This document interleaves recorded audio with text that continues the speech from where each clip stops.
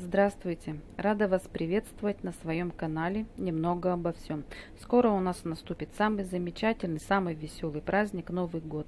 И в этом видео я хочу вам показать, как можно сделать новогодние венки своими руками. Это очень увлекательный процесс. Итак, я приступаю. Но хочу, девчонки, сказать, я совместила приятное с полезным, заказала пиццу. Пиццу, девочки, я скушала и из коробки буду делать заготовку для своего венка. Коробка у меня достаточно большая. Это квадрат со стороной 36 сантиметров. И венок я буду делать э, диаметр, девочки, внешний большой 36 сантиметров. Я из этой коробки вырежу две заготовки, потому что все-таки картон здесь тонковат. И эти две заготовочки я совмещу между собой, тем самым уплотню заготовку. Дальше, девчонки, я за кадром буду подготавливать еловые веточки. Их я буду делать из елочки, купленной в магазине Fist Price, размером 55 сантиметров и стоимостью 55 рублей. Это достаточно дешево. Девочки, я не буду щипчиками и кусачками отрезать эти веточки. Я елку буду полностью разбирать. Эти веточки к основе прикреплены капроновой нитью. Вот такой там то ли шнур это, то ли нить. Девочки, я все обрежу, аккуратно все размотаю, потому что длина этих веточек, э, я считаю, важна для венка. Поэтому я буду сохранять их длину, тем самым просто вот разбирая аккуратно эту елочку. Это несложно, это все достаточно просто. Ну, разбирается тут достаточно просто щипчиками. Я здесь подпарываю край и буду разматывать эту капроновую толстую нить. Выбрасывать я не буду. Ее я буду ее использовать в качестве подвеса для своего венка. Венок у нас, девочки, висит. Капроновую ленту я использовать не буду. Буду использовать вот эту капроновую нить. Она достаточно толстая, по цвету мне подходит.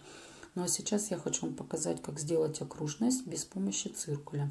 Девочки, мы берем свою заготовку. Вот у меня этот квадрат со стороной 36 сантиметров. Теперь мне надо найти центр этого квадрата.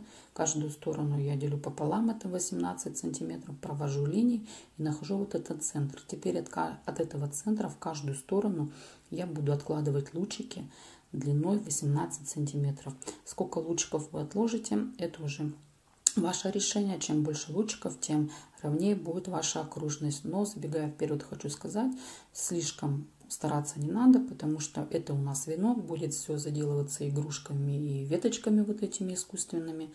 Поэтому идеально нам здесь не надо. Но все-таки можно постараться. Вот так, девчонки, я начертила лучики. Теперь я их все соединю между собой, и у меня получится, в принципе, вот эта большая внешнюю окружность.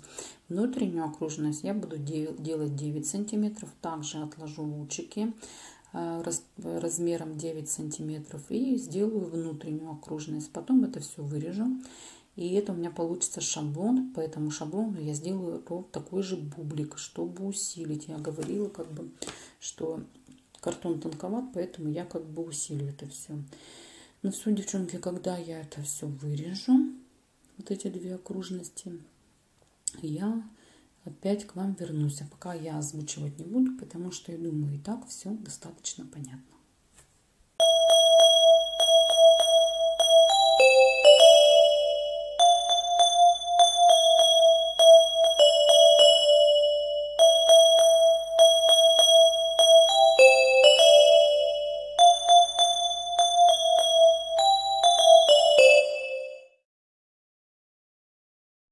Ну а сейчас я буду использовать вот такую новогоднюю мишуру.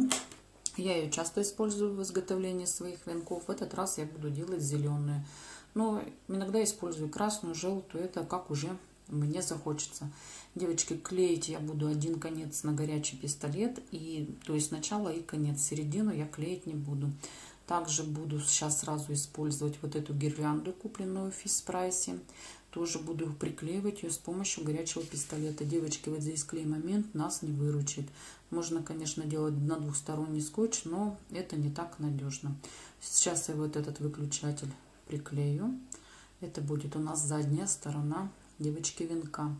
Дальше я захочу обмотать вокруг этого венка гирлянду, но это у меня не получится, потому что расстояние между вот этих светящихся фонариков достаточно маленькое.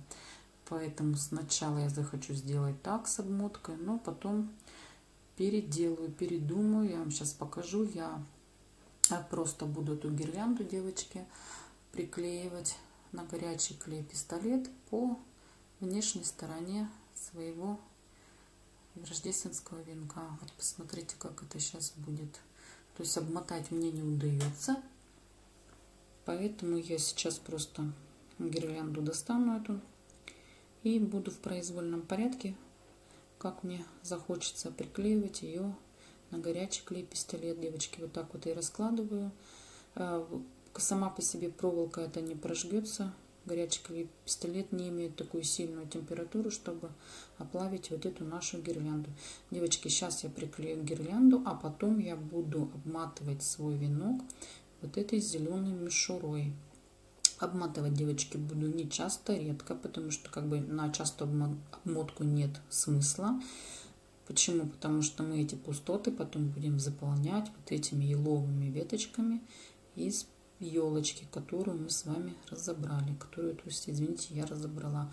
Но сейчас я вот просто прикрепляю свою гирлянду к этой заготовке. Заготовки у нас у меня между собой пока не скрепленные, потому что как бы, ну, можно скрепить, я что-то как-то не стала.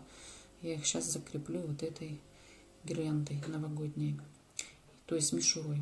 Сейчас, девчонки, я буду приматывать мишуру. Как и говорила, один конец я заклею, приклею к заготовке, и второй конец приклею. А остальную саму мишуру клеить не буду, потому что вот в эти промежуточки я буду, девочки, засовывать еловые веточки. Вот посмотрите. Один край закрепила. Это сейчас я отрежу лишнее, чтобы не, не болталось мне. И сейчас я просто, девочки, вот так вот буду наматывать свою вот эту мишуру по заготовке венка. Смотрите, чтобы только эти шишечки были у вас наверху. Вот эти лампочки от гирлянды. Все, девчонки, вот так вот по кругу это я сейчас делаю. Все. Сейчас я все обмотала. Посмотрите, как получилось. Ничего страшного, что у нас такие просветы. Эти просветы мы сейчас будем э, заделывать вот этими веточками. Веточки вот так вот, девочки, я буду. Почему я не приклеивала мишуру? Потому что вот под мишуру, чтобы скрыть все эти некрасивости этих веточек основы, я буду приклеивать вот эти веточки под мишуру на горячий клей пистолет. И тоже, если у нас будут оставаться там просветы, тоже ничего страшного. Мы дальше будем приклеивать игрушки, шишки и так далее и тому подобное. Ну, девчонки, я думаю, сейчас я видео вообще озвучивать уже не буду. Сам весь процесс. Вы поймете, как я буду дальше приклеивать шишечки, потом игрушки, и потом еще мишуру. И в скором времени я вернусь.